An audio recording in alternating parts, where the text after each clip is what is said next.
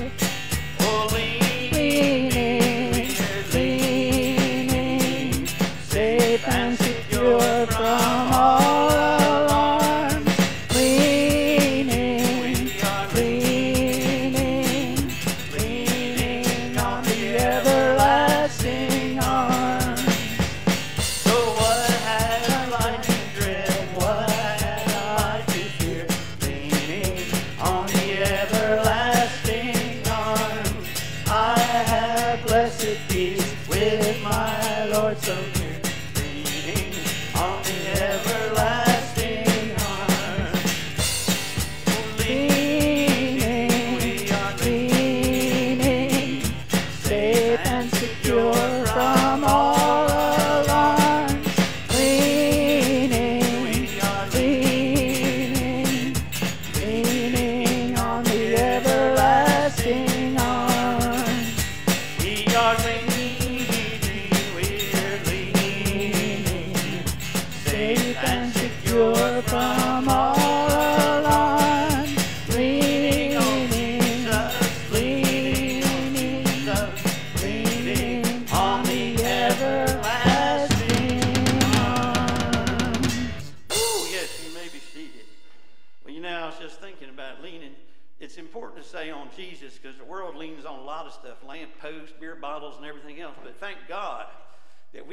something much better to lean on. Amen.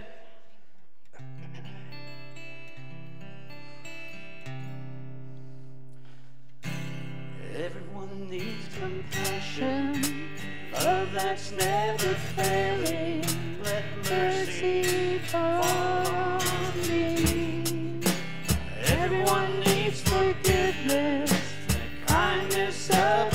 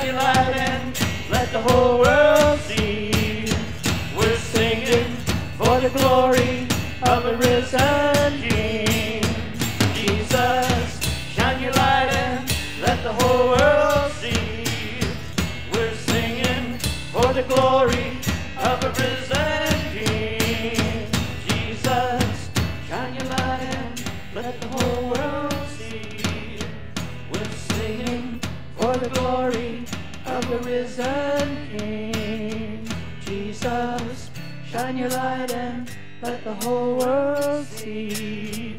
We're singing for the glory of the risen King. Oh, amen, amen, amen. Wow, we're all singing about the light today. Did you notice the theme? That's not by accident. Amen. You're going to hear more about light today. Um, let's see, we don't have to dis dismiss the children unless I go. Um, so I guess we'll talk about the tithe. So I want to talk about the tithe today because I always try to think about that every week. You know, while I'm kind of God's help me. You know, give wait a minute. Now I'm not in the canyon anymore. Um, it makes me kind of get in a prayer life to think about those things. And it's good. We should all be in that prayer life about giving. And I had something all planned, but then God this morning, He reversed all of that. I had this little devotional, and I read this story in it, and I thought, that's the story for today. I'll give you the other story maybe next week. but nothing God ever puts in your heart goes empty, so it'll be used somewhere. So, anyway, I want to talk to you today about the 5,000 loaves. Now, everybody knows the, story of there were 5,000 people that were fed, not five. It was five loaves and two fishes, right, brother? Because my math's not too good at this age, so I just want to make sure. Okay, so the, the, you think about that story and say, well, what's that got to do with tithing? Well, here's what's got to do. So Andrew brings this little boy up to Jesus because there's all these people to feed, and he says, see who's got food. So Andrew brings this little boy, and he's got, you know, five loaves of barley bread, and he's got two fishes. Well, Andrew knew in his worldly mind, there's no way you're going to feed all those people with just those two fish and, you know, five loaves of bread. But what he brought it to him for was to see what Jesus could do with it. Okay? Sometimes we forget our job, right? I've had people work for me. If they're so busy about things, they forget what their job really is. They're worried about the result instead of the job. We need to worry about the job, and whether it's giving the gospel or bringing tithes and offerings, and maybe you didn't have much to bring today. And I think we're going to pass. Are we passing the? Yes, we are. Oh, I see Tony back there. Okay. And Ryan, it's good to have you back, brother. So, anyway, the, the, the gist of it was don't worry about what you're bringing. Think about all God can do with it because we know from that story He multiplies everything. And what He said about the widow's mite, just that little teeny thing, and He says she given it all. You know, and that's the spirit we need to come in. So, the other story is about ladies. I'll try to save that for next week, but it's really uplifting and good for ladies. It was a good little nugget for you, but I'll save that one. But let's think about that today as we pray over this offering that God's going to do with it like He did with those five loaves and those two fishes. Amen. Amen. Okay, let's pray. Dear Heavenly Father, we thank you today for the blessing of being here. Ooh, we thank you for salvation. Lord, you've given us everything. There's nothing really we have want of. Lord, you answer every need. It may not always be the answer we want, but you always listen and you do what's best for us. And sometimes it's hard to accept when it hurts, but we're still thankful and our faith is that we know you love us and that you have the hairs of our head counted and we know you're the multiplier of all things as we bring an offering today which Lord, I know you don't need money. You don't need anything. Everything is yours. But we're bringing it for the use for the multiplication, not just of money, but the multiplication of souls in the kingdom of God. Lord, help us to think about that as we, every week when we write our tithe checks, to think, wow, this could end up saving somebody in Nigeria, Australia, maybe even in Winter Haven. So, Lord, we ask you now to bless the gift and the giver and to take this and that you would go ahead and multiply it for us. In Jesus' name, and all God's people said, Amen. clothed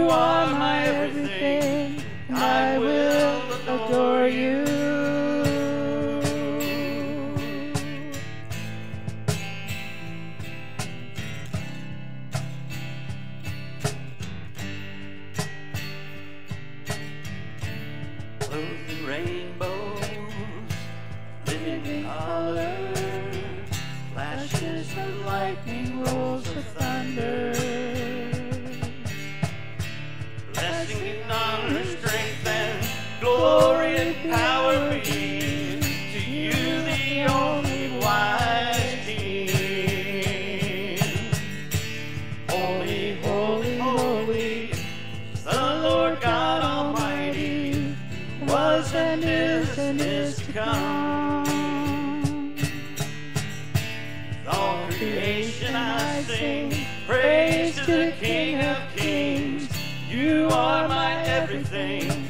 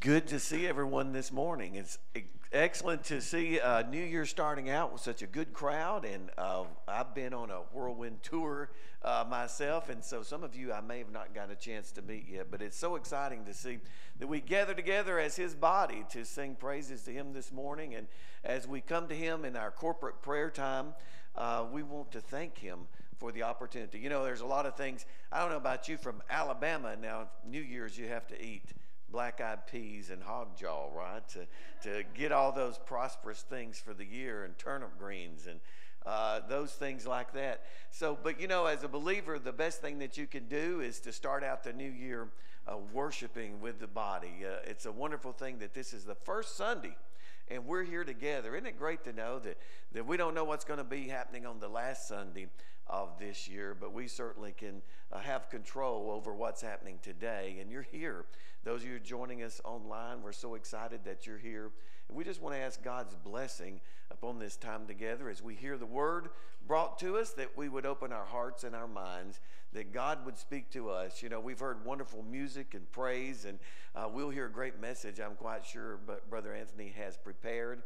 But the best thing we can do is hear from God. And, and we hear from God through other people. And so sometimes we have to remove our own distractions. And so let's ask that God would uh, give us the ability to put things aside for the next few moments, to listen to Him, to what He would have to say to us. Remember, His Word is the living Word. And although the words may be read on the page and the message may be spoken in one direction, God may very well speak to us in something totally different because it is the living Word of God. And so, with that, let's ask uh, the Lord's presence here to be with us and for us to be attentive to Him. Pray with me. Father, thank you for an opportunity to come and to worship, and truly holy are you. And uh, so many distractions in life and things, God, so many things that we have going on. We just ask that you would help us to set aside this moment to listen to you. We thank you for uh, the words of encouragement. We thank you for the worship. We thank you for the word that will be delivered. But Lord, we ask now that you would enable us to personally, inwardly, uh, set aside some quiet time in the midst of the body of Christ here that we could hear from you. And Lord, if we hear from you today, then we're obedient. We can go from this place and saying, Surely, truly, it has been good to be in the house of the Lord together today. And may it be so of each of us, for it's in Christ's name we pray. Amen.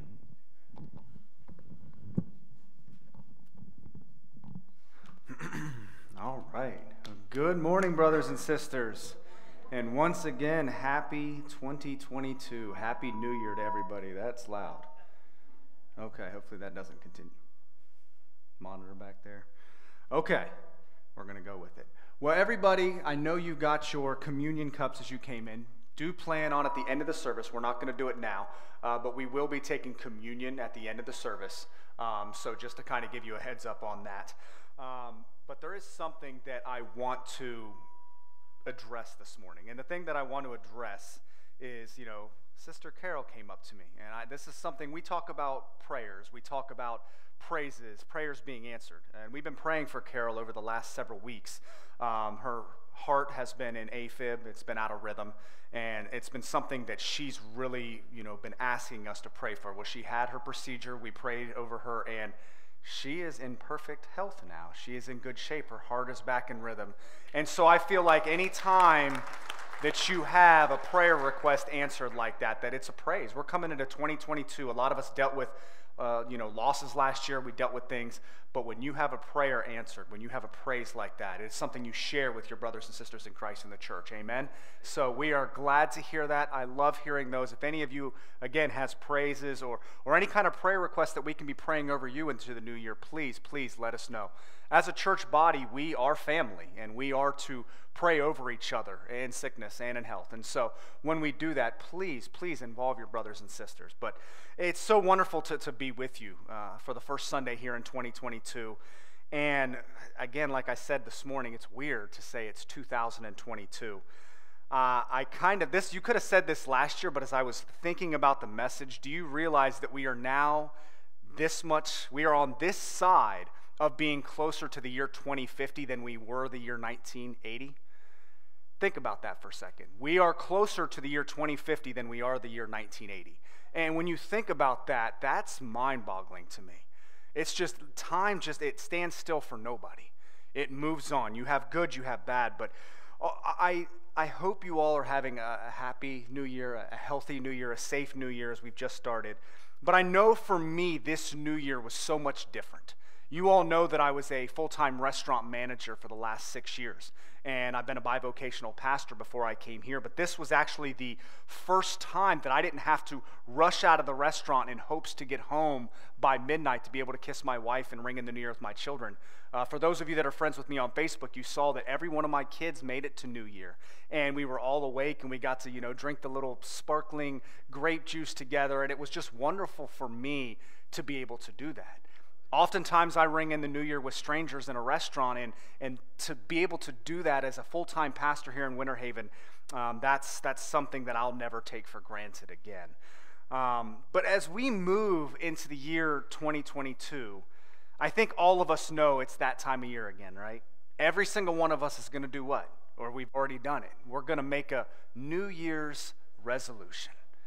A lot of, no, nobody's going to do that. Okay, well, some of us, I think, me, for me, I don't know if you've all know this. I don't know if my shirts are fitting a little more snug, but since I got here, I've gained 15 pounds. Um, I don't know how that's happened. I feel it in my shirt and my pants. Uh, but for me, my New Year's resolution is to start dieting. Eating, I don't want to say diet, but eating better to eat a little bit better, to hit the gym a little bit more. When I first got here, I did well, but you know, you get into that office and you're typing sermons and you're meeting with the congregation, and that's just so fulfilling and wonderful. You're like, I don't need to go to the gym. I'm already filled the way I need to be, and yes, I'm filling out quite nicely. So. Uh, but for me, that, that's my New Year's resolution. But I think a lot of us, we're going to, to make those. And uh, outside of that, that New Year's resolution for myself, I, I assume that some of you, not all, have made one as well. My question to you all, and I've been forming questions a lot lately, is what's going to be different in your spiritual life this year? What's going to be different? How will you walk with Christ? How will your commitment to the church and the mission to reach lost souls for the kingdom play out? How will it be different for you? What will it take for each one of you that call Spirit Lake home? Maybe some of you call another church home. How are you going to be an intricate part of those services in that church? Every single one of us, we have a mission. And as you head into the new year, when you think about all these resolutions and things that we're supposed to do, the number one thing we can think about is how are we going to play a bigger role in eternity? How are we going to play a bigger role for the kingdom of God? So this morning in Philippians chapter 3, verses 12 through 15, it says this Not that I have already obtained all this or have already arrived at my goal, but I press on to take hold of that for which Christ Jesus took hold of me. Brothers and sisters, I do not consider myself yet to have taken hold of it. But one thing I do, forgetting what is behind and straining toward what is ahead, I press on toward the goal to win the prize for which God has called me heavenward in Christ Jesus. So, first and foremost, I think as a congregation, anything that we are holding on to from last year, anything we're holding on to from this past year, we need to let go of. Every single one of us sitting in the sanctuary today and watching online, we have failed in some way over the last year.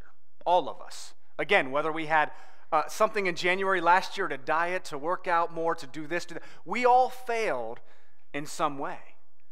We've all in some way let God down and we've beat ourselves up for it. Why did we do that? God's so mad at me. He's so ashamed. I can't believe. And we beat ourselves. We have to learn to let go of that. We serve a very forgiving God.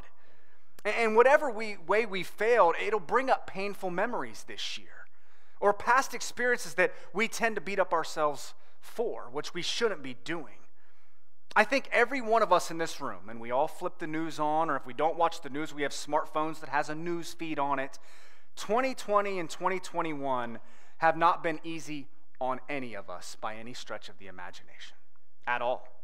You have a global pandemic, which is still going. You have massive rising in the cost of living because of inflation. Not to mention, there's a ton of uncertainty in politics every time you flip on the TV right now in this world, and Ed, you did it again, brother, right now in this world of so much what we consider right, so much of what is considered right according to the world is as a sin. They consider it right. They say it's perfectly fine to do these things. But then what the what God what God says, no, that is detestable, that is offensive. God, God, the world says this is right. We're supposed to live like this. This is what we're supposed to do. It, everything's backwards, everything's mixed up. And you know, we come to church to, to get fed, to be able to be told right from wrong. If you don't have your children, your grandchildren coming, if we're not coming to be able to feed into them, so often we're being fed by this world, this social media entertainment driven world. And when it tells us it's right, we believe it's right. Something that my kids try and watch way too much, and I'm deleting them off devices and doing that. They love YouTube. You have all these YouTube streamers and all these people that tell you, and they're telling you what you should be doing, what's right. This is what's popular. This is what you should be doing. We've drifted away from the Word of God, the ultimate truth, the only truth. No matter what happened last year, church, we cannot let it control our minds when it comes to what's going to happen this year. We must repent. We must move on. You know, I've met so many people that call themselves Christians that they're like, I remember when I was saved. I came to the altar, I repented, and that was it. I'm like, oh, have you have you repented since then? Oh no, I didn't need to. What do you mean? We sin in word, thought, and deed every single day. We have got to be repenting to God. We have got to ask God for forgiveness. Those things that we think about from last year that we hold on to. Why did I do that? If I wouldn't have done that, this person wouldn't have done this or said this, my family would still be intact. Don't beat yourself up for that. Jesus Christ died on the cross for that. So you could lay it all at the foot of the cross and let Him take those burdens for you. Now, you might be asking yourself, Pastor, what kinds of things should we be focusing on? Where are we going to head in 2022? I'm glad you asked. In Colossians chapter 3, verses 12 through 14, it says this Therefore, as God's chosen people, holy and dearly loved, clothe yourself with compassion kindness, humility, gentleness, and patience. Bear with each other and forgive one another. If any of you has a grievance against someone, forgive as the Lord forgave you. And over all these virtues, put on love, which binds them all together in perfect unity. I think, first and foremost, uh, according to this passage, Scripture right here, we must first, as God's chosen people, we've got to have what? Compassion kindness, humility, gentleness, patience. Now, I want to show of hands how many of you has mastered every one of these things? Okay, good. I didn't see any hands go up. That's good. I was just doing it as I, I did not master them. I just want to see if anyone else would follow suit. I don't have any of those mastered. None of them. Like I talked about with a friend over the phone a couple weeks ago, just because pastors are called to preach just because we know we're called to stand up here on Sunday mornings and preach what the perfect, the perfect, the perfect Word of God says, doesn't mean we have it mastered. We don't have this life figured out. But we as a body, we as brothers and sisters, we, we go through this thing called life together. And when we go through this thing called life together, we learn together. You see, I have a devout love for the Word of God. And I have an absolute love for his people, all of you. But I am by no means perfect. If I was or I claimed to be, I would challenge each one of you to go to the board and try and get me kicked out so I didn't preach anymore. Because I am not perfect. I can, I have this desire. And I hope all of us gain this desire. But I have this desire to, to let the Lord change me from the inside out. I want Him to change me each and every day, to cleanse my heart, to care about the things and love the things that He loves, to stop focusing on the wants and needs of Anthony, to not focus on the wants and needs of myself, and focus on what God's people need.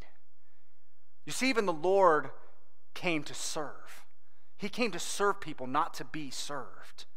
When we do that as a church, when our thoughts, our desires, our souls become consumed, I'd even go as far to say we are obsessed with who God is and his desires. Then and only then will we be able to clothe ourselves with compassion, kindness, humility, gentleness, and patience. Next, as we as Christians, we need to be able to forgive those that have trespassed against us.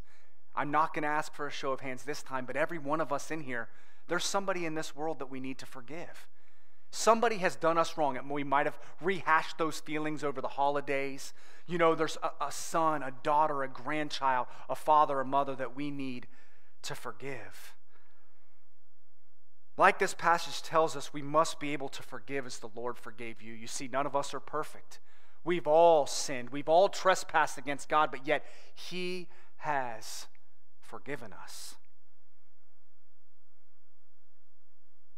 Something that I've realized is that there's things in this world, in this life, that people do that we don't expect. It could be a loved one, again, a family member, a friend. And in our minds, we, we, we think to ourselves, how could they have done this? This person should never have done this. Why would they do this? And we as Christians, we sit there and we say to ourselves, I can never forgive this. I can never let this go. And I think about Jesus, and I think about the cross, and I think about the things that I did before I knew Christ as Lord and Savior. And I think to myself, how could He ever forgive me? How could He ever let this go? because I remember who I was before Jesus entered my life.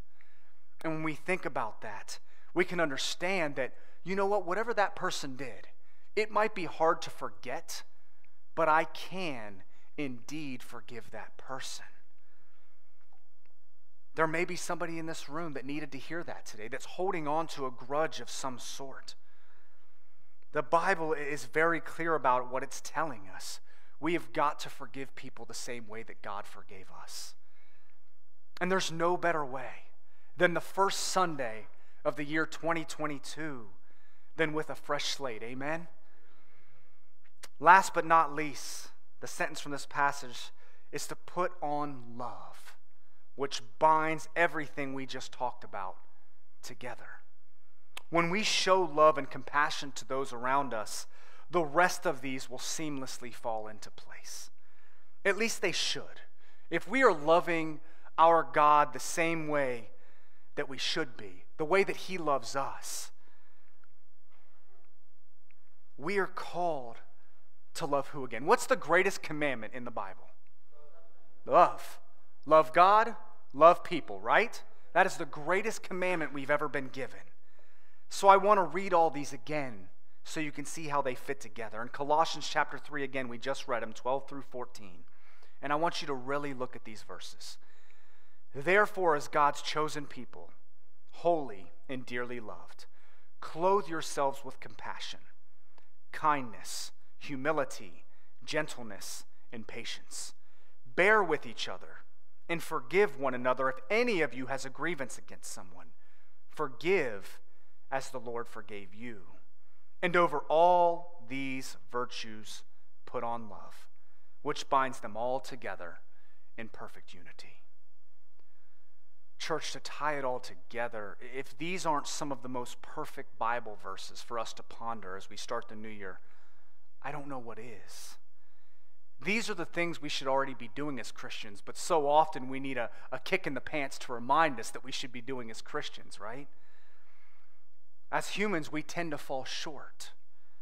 And there's no better time than January, the beginning of the new year, for us to pick back up and follow these commands as we move forward. Love God, love people. Now, many of you know I've been asking prayers for, for my relationship with my father. You see, as I was writing this sermon, it, it stirred a ton of emotions for me. There's a lot of baggage, a lot of issues in my relationship with my father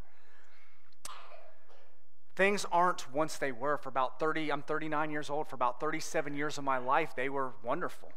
And for about the last two years, they haven't been so wonderful.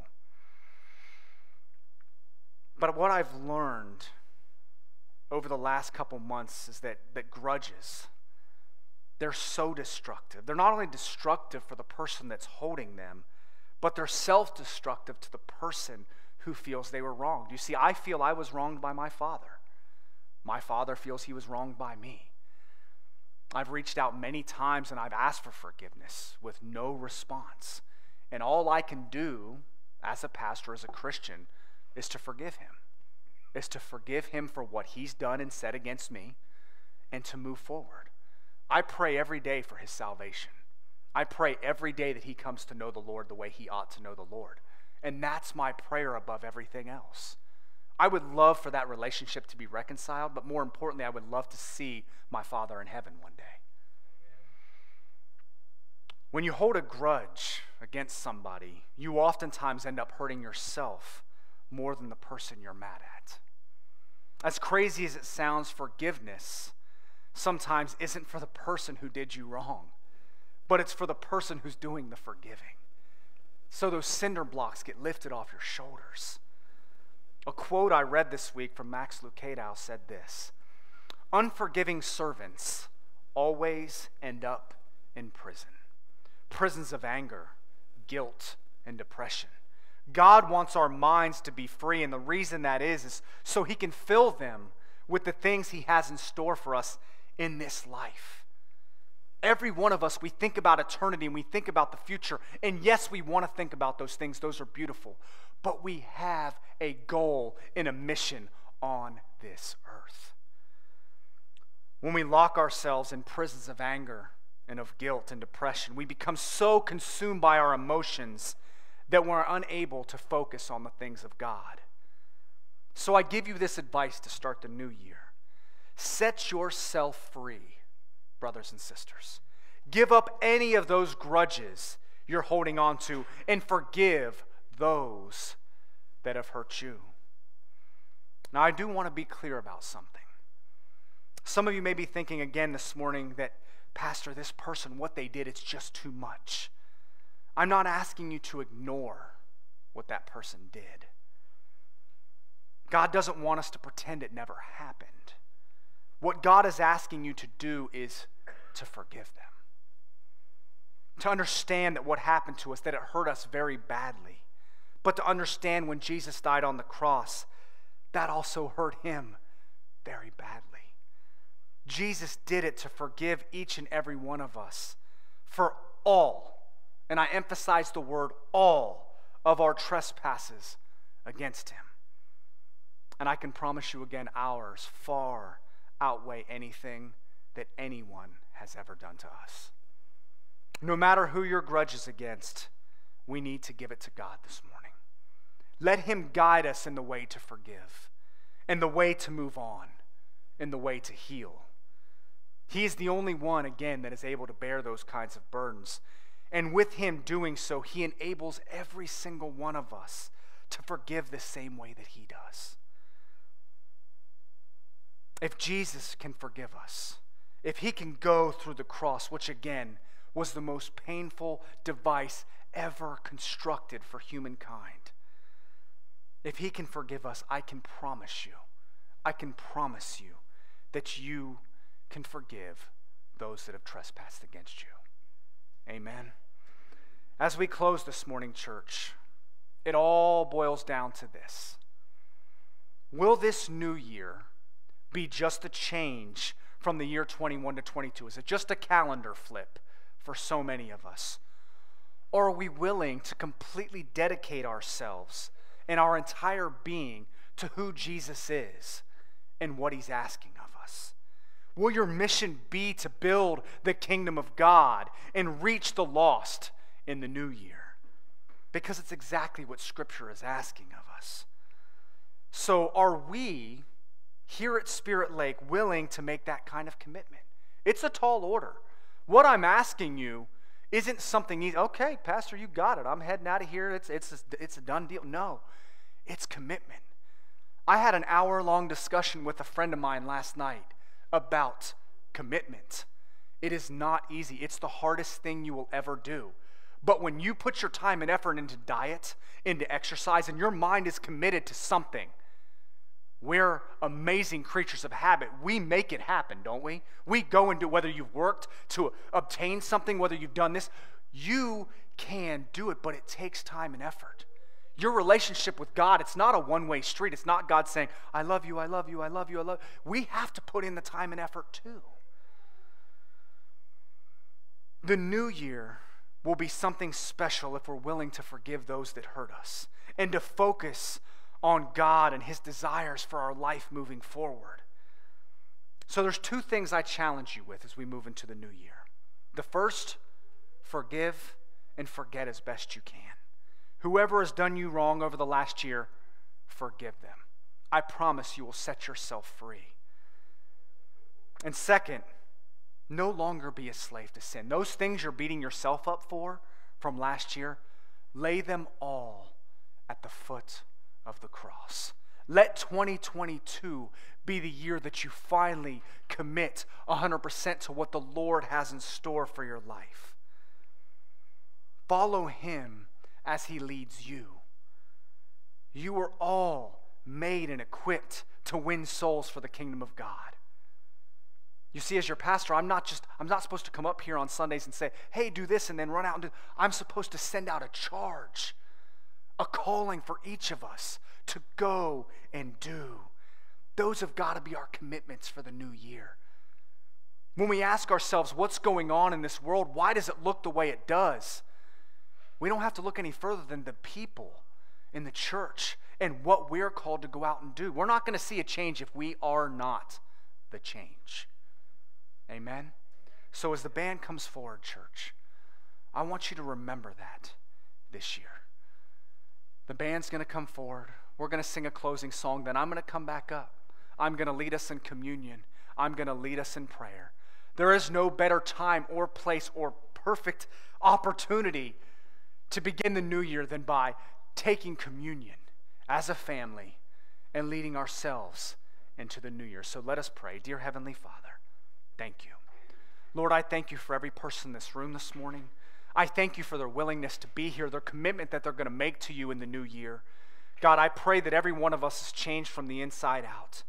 That whether we've been committed to you for years or whether this is something new and we've had questions and, and we're ready to make that first step, God, that we commit to it, that we're excited about it, that we recommit ourselves. God, you are everything, you are over all.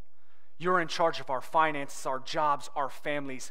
It is all about you.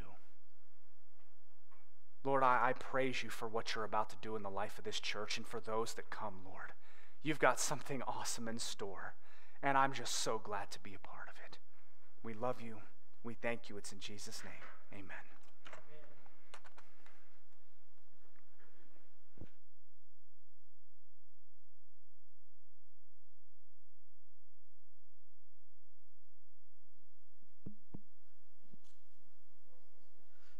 Becky, there we go. We're back. So, you saw me up here going maybe around behind pastor's back. That wasn't a bad way. That was a good way. Because sometimes God calls an audible. You know what audible is, football fans? Like the, play changes, the play is going to change. We're not going to do the song that we were going to do. We're going to sing Amazing Grace here in a minute. We're going to try. We didn't rehearse this at all. Um, I know most of the words, but I know you all know some words, and I think we'll be fine. But I want to say something about forgiveness because I know a lot about forgiveness because I've been forgiven much. Part of the story I didn't tell you about tithing starts in Luke chapter 7 with the lady when, when Jesus went to see Simon the uh, tax collector, or no, no, Pharisee, I'm sorry, um, that sat at his feet the entire time, weeping and drying her his feet with her hair, the tears, and kissing his feet the entire time that was forgiven there is just a great picture of forgiveness. And I read that this morning and I thought, I need to be more like that and not so much like maybe what I am. So, um, but here's the other thing that God taught me about forgiveness. A long time I struggled with it, and maybe it'll help somebody here. So I'm going to share it today. Um, I carried around a terrible burden about I just felt like I really bad about myself and and things I had done, and I just couldn't shake it. And we had a revival. I helped to organize it, but nobody came, hardly to this revival, and it was kind of boring to be honest with you.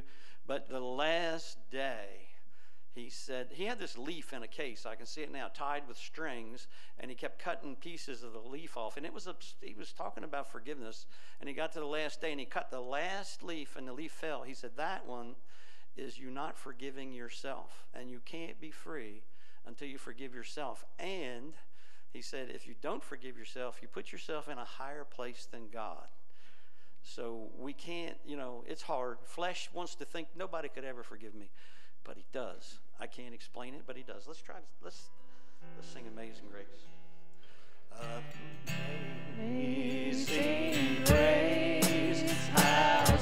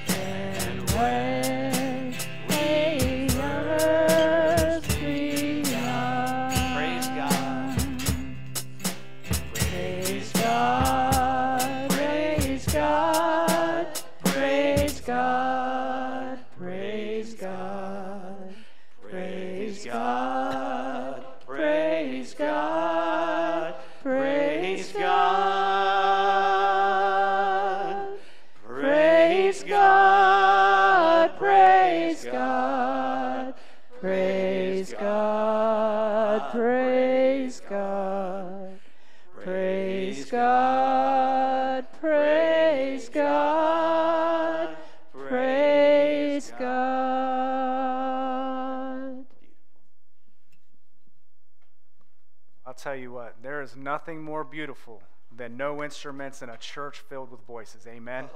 Now, first question I have before we go into this Does everyone have the elements? Does everyone have communion elements? Okay, so we need a couple up front here for the band. Does everybody in the congregation have one? Okay, if you don't have one, put your hand up. I'm going to make sure we get those to you. Thank you, Ryan. I got a couple here and a couple up here.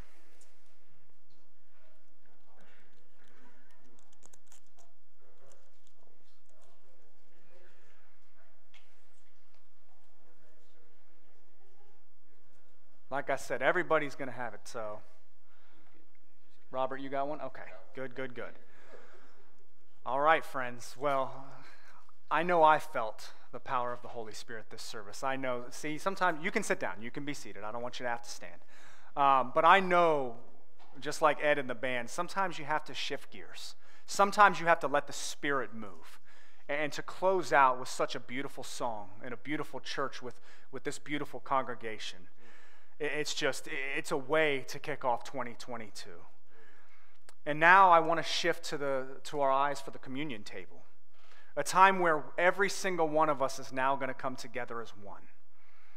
The Lord's Supper, it's, it's a good time to stop and recall the things that Jesus has given us over the last year. It's a good time to reflect on what Jesus did some 2,000 years ago. So today, as we think about the birth of our Lord, let's pause and give thanks for what his mission truly was and the fact that we can start fresh in the new year. The fact that we can give it all to Jesus Christ and begin anew. And that was given, you know, Jesus giving his life for every one of us in the room today. It's something that we should never take for granted. In 1 Corinthians chapter 11 verses 23 and 24 it says, "For I received from the Lord what I also passed on to you. The Lord Jesus on the night he was betrayed took the bread, and when he had given thanks he broke it and said, "This is my body, which is for you. Do this in remembrance of me." My friends, his body was broken on your behalf.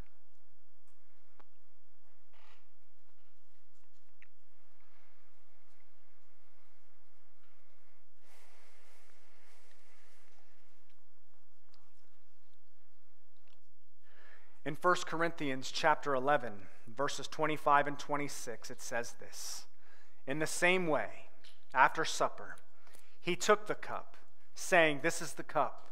This cup is the new covenant in my blood.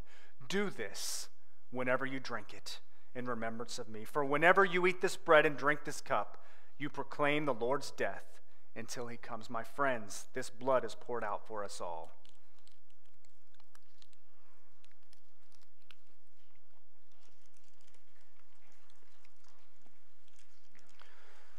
Brothers and sisters, as you leave this morning, understand what we have just done. We have done as a church family. We are, in fact, united by the blood of Christ. Understand the importance of it. Let it resonate with you this week and celebrate that time. Celebrate that new year and the fact that we've all been given life anew, a shining light for all to see. Amen. Dear Heavenly Father, thank you. Thank you for every person in this church today, God. And I pray as we begin this new year, 2022, God, that you shine your light on us. That that beacon of light that we have because of you, Lord, we can pour out to others.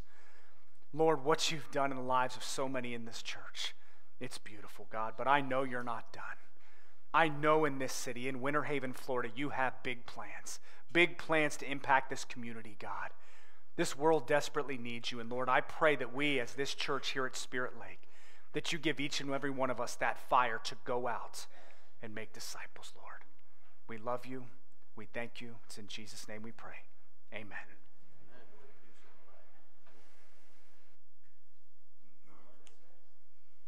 We'll give you a little walking out music. How about that?